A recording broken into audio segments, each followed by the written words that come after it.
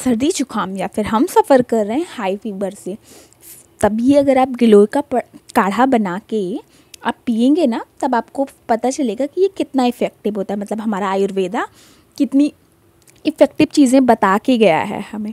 तो बस इसे बनाने के लिए हमने पैन रखना और पैन में हमने चार से पाँच ग्लास तक पानी डाला। मेरा ग्लास बहुत बड़ा था, इसलिए मैंने सिर्फ़ डेढ़ ग्लास पानी डाला था। मतलब डेढ़ ग्लास से थोड़ा ज़्यादा ही पानी डाला था। और फिर हमने ढेर सारी अदरक कूट ली है। और ये गिलोय जो कि मैं फ़्रेश गिलोय अपने गार्डन से ले आई हूँ वो हमने ला के कूट लेना है। ये गिलोय जो होती है, वो एक तरीके की जड़ होती है तो ये थोड़ा सा कूटने में दिक्कत करती है, लेकिन आप थोड़ी कोशिश करेंगे तो ये आपसे कुटा जाएगी। और अगर थोड़ी बहुत अच्छे से नहीं भी कुटाती, तब भी कोई दिक्कत नहीं। आप इसको थोड़ा कूट लीजिए और फिर उसके बाद इसमें पानी में डाल दीजिए और गैस का फ्लेम हाई कर दीजिए।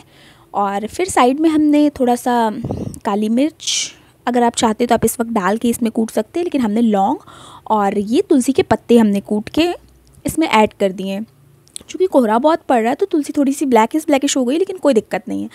वो हमें अपना, वो अपना काम कर देगी। और फिर उसके बाद हमने इसमें थोड़ा सा दालचीनी का पाउडर और थोड़ा सा काली मिर्च पाउडर और थोड़ा सा हल्दी पाउडर ये सब हमने ऐड किया है, जो कि एक एक चीज़ के इफ़ेक्ट मतलब एक एक चीज़ की क्या क्वालिटीज़ होती हैं, हमें बताने की ज़रूरत नहीं है। मतलब ये आप सबको ही पता होगा। मतलब जो काढ़ा के लिए सर्च आउट करने आया होगा, उसे तो पता ही होगा।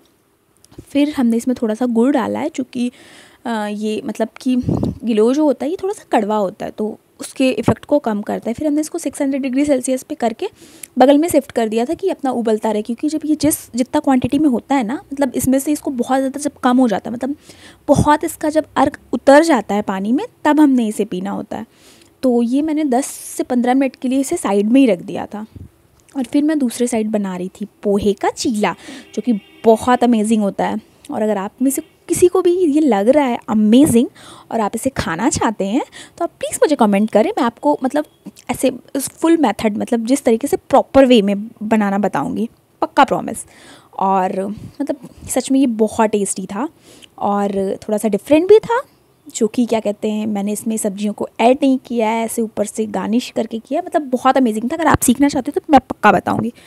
और फिर तब से हमारा दस पंद्रह मिनट हो गया था, फिर हमारा ये काढ़ा भी एकदम अच्छे से बन के तैयार था। मतलब जब दस पंद्रह मिनट ये बॉईल हो जाता है ना तो सारी चीज़ों की जो गुड प्रॉपर्टीज़ हो जाती, होती हैं, वो हमारे वाटर में आ जाती हैं तो जिससे वो हमारे लिए इफ़ेक्टिव होता है। और फिर हमने इसे छान लेना है मतलब इसको हमने अच्छे से छान लिया है, और छानने के बाद आप चाहें तो इसे कैटल में पूरे दिन के लिए स्टोर भी कर सकते हैं। मतलब इसमें कोई ऐसा निकोटिन कैफेरिन जैसी चीज़ें हैं नहीं तो ये हमें कुछ नुकसान नहीं करेगा। और फिर हमने इसे सर्व कर लेना है, और ज़रूर पीना है। मैं क्या करती थी पहले? मैं सबके सामने ले तो लेती थी, फिर उसके बाद जाके बेसिन में डाल देती थी।